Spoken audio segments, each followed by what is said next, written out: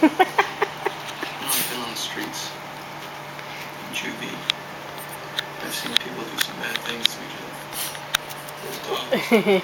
other.